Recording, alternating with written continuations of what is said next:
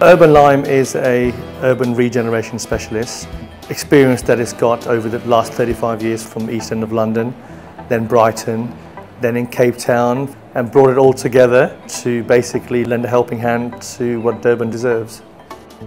What we find that Durban is so unique in is that when the corporates moved out of the CBD in Durban and moved up north to Ballito and, and where have you, actually the locals moved back in. So Durban has always been extremely busy and in fact ever, ever since we arrived the city centre is packed. So there's a lot of, lot of thriving businesses going on but ultimately for the CBD to, to come back to where it needs to be the corporates need to start moving back in.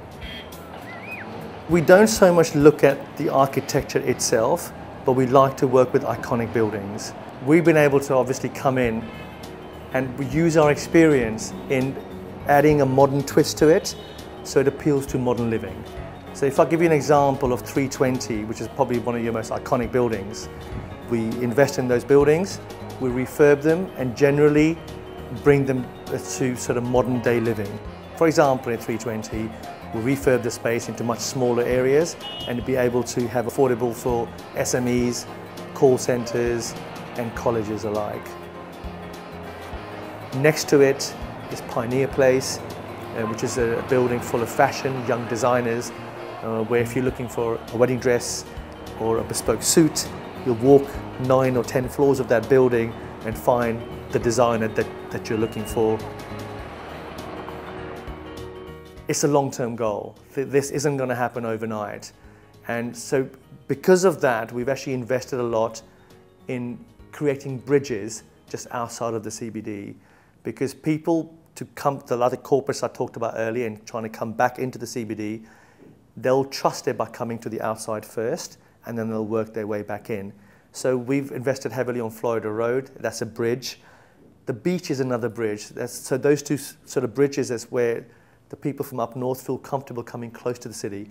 And, and slowly by slowly, these bridges will come closer and closer.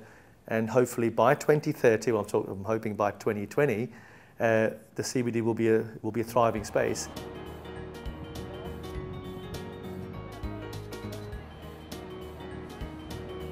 Middle of 2015 when I first arrived in Durban and uh, being quite excited about the buzz that there was in the street. Everybody was on a mission, everyone has a purpose and I've literally seen the city grow. Every day I've seen the city being involved in a very positive fashion. Well, the four nodes that we've got at the moment, there's two in the CBD, one slightly outside and one on Florida Road. Node number three is Rivertown. Uh, so we basically own everything between Ambassador House and Convention House uh, alongside ICC. It's the main arterial road into town and it's the main arterial road out of town the other side. That is perfect for your showroomy retailers so where, the, where people can sort of, sort of see what's, what's going on. So your car dealers, your big lighting houses, and so, and, and, and so forth.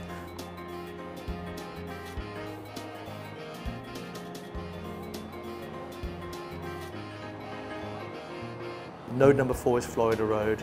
And as I say, we invested heavily in Florida Road because we see that as a key, as a bridge of ultimately getting people back into town. So Florida Road is basically caters for food and beverage uh, of a high level uh, and also all the creatives uh, are housed in, um, on Florida Road. So I'm proud to say that for Urban Lime, if there's one tenant, we'll be able to fit them in one of our four nodes quite easily.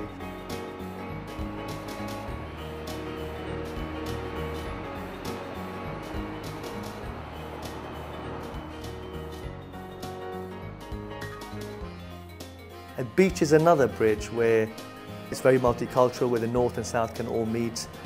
Since the promenade has been expanded, I think it's just gone to another level.